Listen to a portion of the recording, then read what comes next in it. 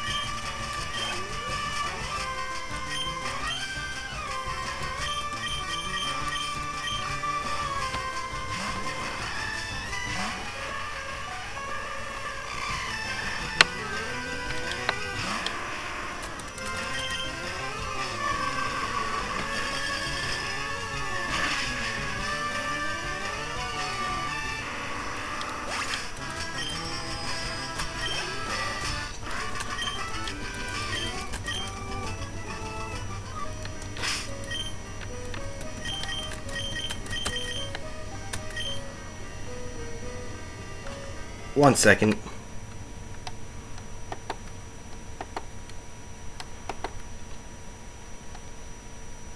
One second.